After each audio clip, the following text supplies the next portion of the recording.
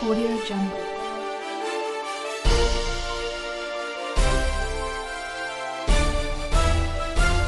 Audio Jungle. 独自戦争終結の必須条件はクリミア奪還ウクライナ大統領最側近大越健介19日から始まる G7 広島サミットで間違いなく最重要テーマの一つになるウクライナ情勢についてゼレンスキー大統領の最側近大統領府顧問のミハイロ・ポドリャク氏が報道ステーションの単独インタビューに応じました。これまであまり語られてこなかったクリミア半島の奪還に向けて具体的な戦略の一端を明らかにしました。前回首都キーウにある大統領府でインタビューを行ったのは2月。当時は東部でロシア軍の大規模攻勢が始まっていた時期です。3ヶ月経ち陥落間近とも言われていたバフムトでは今形勢が変わりつつあり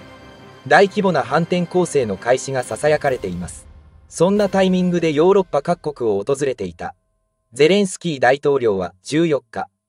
今こそ年内に戦争を終わらせる好機だ。今年中に侵略国の敗北を決定づけることができると話しました。大越健介キャスター。ゼレンスキー大統領の発言は今いわゆる大規模な反転攻勢がすでに始まっているという意味でしょうか。それともその準備中であるということですか。ポドリャク氏反転攻勢は近いうちに必ず始まります。ただ今日始まって明日終わるわけではありません。1800キロの戦線では様々な出来事が起きるでしょう。今後起きる様々な出来事としてポドリャク氏が挙げたのがロシア軍の防衛線の突破。補給インフラやクリミアなどにある備蓄拠点の破壊です。ポドリャク氏十分に効果的な反転攻勢を行いロシア軍に2、3回本格的な戦術的敗北をさせればロシア軍の戦闘能力を完全に無効化できると考えています。反転攻勢近しという時期に出てきた新たな動きがイギリスによる長距離巡航ミサイルストームシャドウの供与です。ステルス性能を持ち貫通能力が非常に高いとされています。射程は250キロ以上。アメリカから提供されたロケット砲では届かない。ロシア占領地域の奥深くまで標的にすることが可能です。大越健介キャスター。射程はウクライナの領土であるクリミア半島も含みます。クリミア半島の奪還も具体的に計画されていますか？ポドリャク氏いい質問ですね。現在は計画しているかどうかの段階はすでに過ぎていて戦争終結の必須条件になっています。クリミアの奪還はロシアの変化が始まる重要な条件。つまり戦争の終わりの始まりです。クリミアにある軍事拠点230カ所の位置を把握しています。ストームシャドウはそれらの拠点まで届き前線の占領軍に対する補給を防ぐことができます。広島での G7 サミットで影の主役とも言えるのが軍事政治経済あらゆる面で影響力を強める中国です。先月ゼレンスキー大統領と電話会談を行った習近平国家主席中国は特使をウクライナとロシアに送り仲介役を担う姿勢を示しています。大越健介キャスター中国は和平の仲介に意欲を示していますがウクライナにとって中国は信頼できるパートナーですか？ポドリャク氏。私たちが最も信頼できる相手は G7 アメリカイギリス EU 日本です。ロシアは世界的な大国としてもはや存在しておらず今はその役割を中国が目指しています。ロシアとウクライナの戦争で中国は仲介役になるよりもロシアを支配下に置きたいと願っています。提案を出す中国やブラジルを含む様々な国の様々なリーダーとゼレンスキー大統領との直接的な対話は重要です。世界のパワーバランスが変わりつつある中開かれる G7 サミット。グローバルサウスと呼ばれる新興国や途上国を招き、連携を図る構えです。ただ、インドやブラジルなどこうした国々は、ロシアへの制裁に参加せず、西側とは距離を置いています。大越健介キャスター。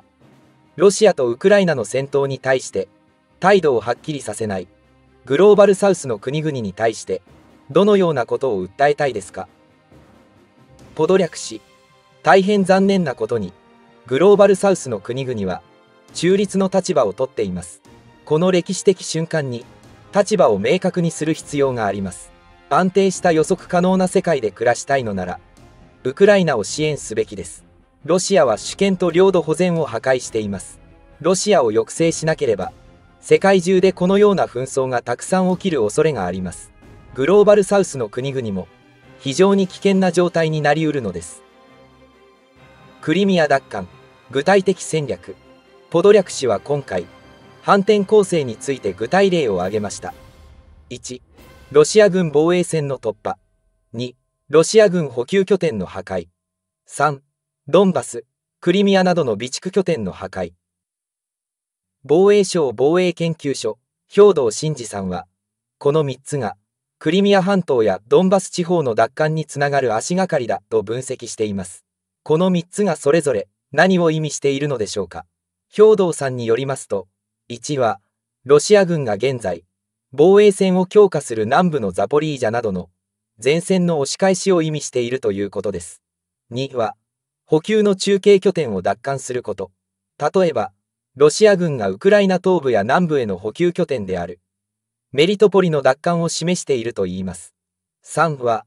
この時点では、あくまでも占領地そのものの奪還ではなく、弾薬庫など、補給の大元を破壊する。この、1、2、3の積み重ねの先に、戦争の終着点が見えてくると分析しています。この戦争の遠因は、2014年のロシアによるクリミア強奪にあるのだから、戦争の不可逆的な解決に、クリミア解放が含まれるのは自然な考えだと思う。ロシアが選挙4州とは違い、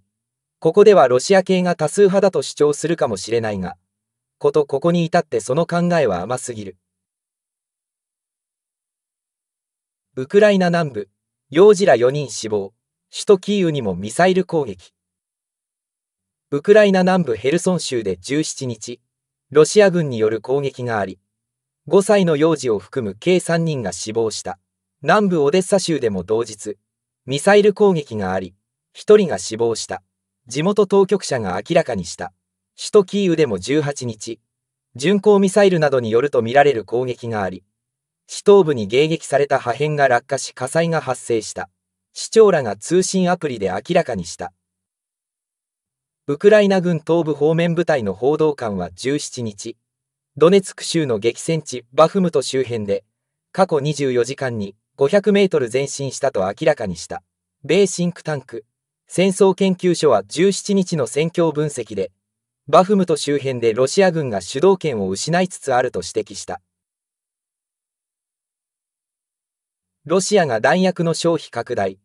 ウクライナ防空システムの圧倒狙いか、米当局者。ロシア軍が通常よりも多くの弾薬を消費することで、ウクライナ側の防空システムを圧倒し、混乱を引き起こそうとしているとの見方を米当局が示していることが分かった。事情に詳しい当局者によれば、ロシア軍は一度に様々な方面から、より大規模な空襲を実施しており、ウクライナの首都キーウや他の重要な場所の司令部や管理センターを標的としているという。ロシアはウクライナ軍による反転攻勢を遅らせるために、より大規模な攻撃を開始した可能性がある。しかし、ウクライナ側はロシアからの攻撃に耐え、西側諸国が供与した防空システムを使い、ミサイルやドローン、無人航空機を高い確率で迎撃している。当局者によれば、ロシア側は精密攻撃が行える弾薬の供給に限りがあるため、攻撃の拡大がウクライナに有利に働く可能性さえあるという。ウクライナ軍幹部によれば、ロシアは16日、航空機から発射した極超音速ミサイル、キンジャルや黒海から発射した巡航ミサイル、カリブル、地上から発射した短距離弾道ミサイル、イスカンデルで集中放火を行った。攻撃は北と南、東から行われた。この攻撃によって米国製地対空ミサイルシステム、パトリオットが損傷した可能性がある。ロシア軍が飽和攻撃を続けられる間は良いかもしれないけれども、パトリオットを含む西側から供与された防空システムが有効に機能しているので、そう長く続けられなくなるのではないか。結局、これまでのロシア軍のウクライナに対する民間施設攻撃やインフラ攻撃も、ウクライナを屈服させるに至らなかったし、